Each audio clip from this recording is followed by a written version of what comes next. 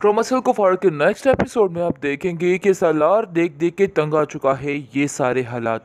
पहले भी उसने सलमान को वार्न किया था कि कोई भी ऐसी हरकत ना हो, यानी कि सितारा के साथ बुरा करना छोड़ दो। मैं आपको आखिरी वार्निंग देता हूँ, लेकिन इन सब बातों से कोई किसी बात का असर नहीं हो रहा है। जिस पर उसकी बहन उसको कहती है कि आखिर क्या बात है सलार?